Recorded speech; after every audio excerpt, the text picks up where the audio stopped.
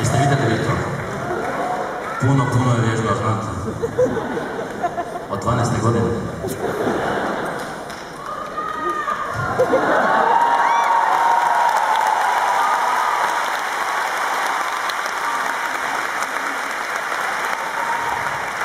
Isplatio bi se sad. Samo ti nastavi tako lijepo. Po svome. Ti po svome, ja po svome, svima je dobro.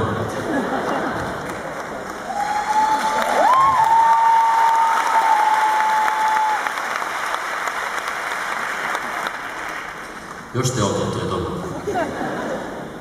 Evo sad sljedeća pjesma. Sljedeća pjesma je jako, jako lijepa. A baš ono predaj. Kao i moja, kao moje lice.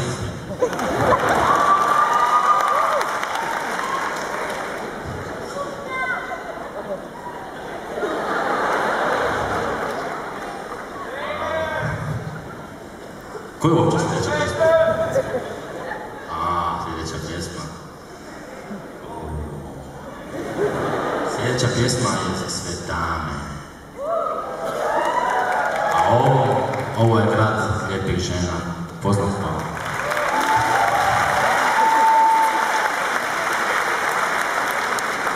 Tako da inspiracija uopće neće biti problem večeras. Nego da vas čujem dame, koliko vas ima? Možete vi to još jače, da vas čujem. Mm. Uživajte dame